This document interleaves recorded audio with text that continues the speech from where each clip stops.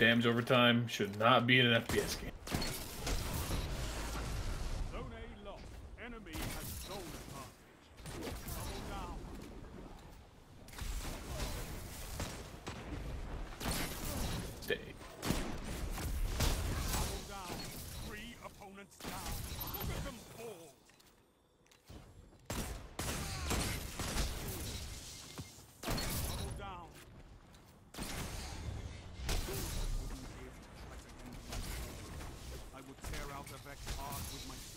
Watch him do some dumb shit. Cabal with my burning Sorry, go ahead.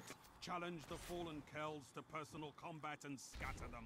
I I didn't even notice. They didn't even pop up in chat. Keep the pressure on.